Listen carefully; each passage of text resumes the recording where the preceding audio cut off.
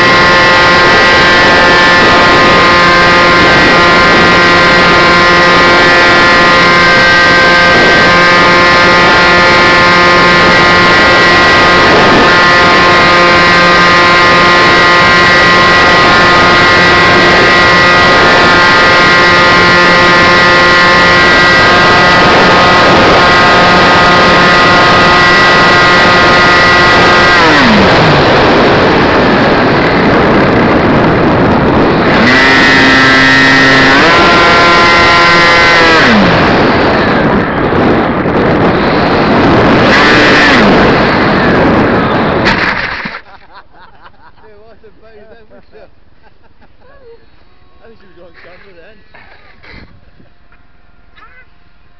Oh, look at that mud at the bottom of that.